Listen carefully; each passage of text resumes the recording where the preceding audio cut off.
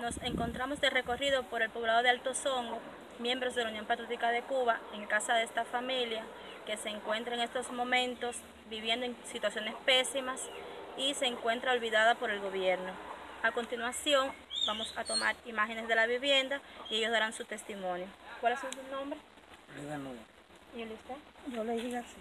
Ajá. Eh, me estuvo diciendo usted que hace cuatro días perdió una bebé. ¿Cómo fue la situación? ¿Cómo fue que perdió esa bebé? Bueno, yo estaba ingresada en el centro gallego de Santiago de Cuba. Entonces, dos días antes le dije al médico que el niño no se me sentía y lo que sentía era contracciones. Y él me remitió para el centro, para el hospital clínico quirúrgico. Cuando allí me hicieron los estudios, los exámenes, me dijeron de que el niño venía con una serie de problemas y la, la doctora diagnosticó hacerme el parto normal.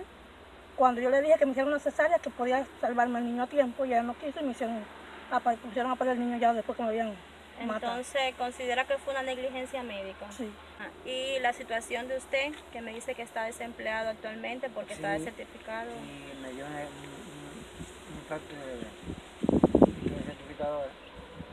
¿Cuántos niños tienen ustedes? Seis niños.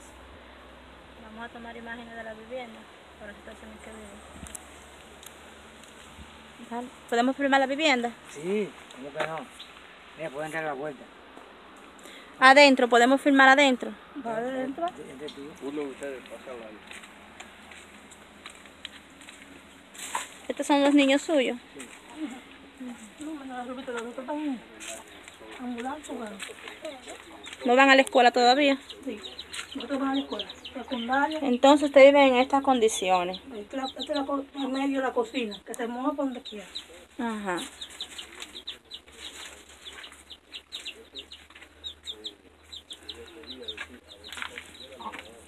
Este es el cuarto de los niños aquí.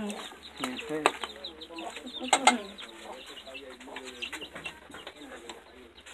situaciones Pésima. Ustedes no han recibido ningún tipo de ayuda del gobierno, ni trabajadoras sociales no vienen aquí ni nada. Ella sí viene, pero no dan, lo que necesito es cama y colchón y mira las condiciones que estamos. Eso es una cama. Aquí duermen los seis niños. Y usted cocina ahí. No le han dado cocina de inducción, nada, nada. Aquí ya hay mi esposo y la cuna le voy a comprar para ver qué van a hacer. Ya usted lo tenía todo, canastilla y todo para el niño. ¿Qué respuesta le dieron en el hospital después que murió el niño? Allí me dejaron una, sala de observación y ni me valoraron si me había quedado nada adentro. Y yo, como no vi, me- hasta me habían puesto un medicamento porque dicen los médicos que me salió una sinusitis crónica. Y el salón me dieron el medicamento y nunca apareció el medicamento. Y yo, como no me puso el medicamento, me di el alta yo misma y vine para mi casa.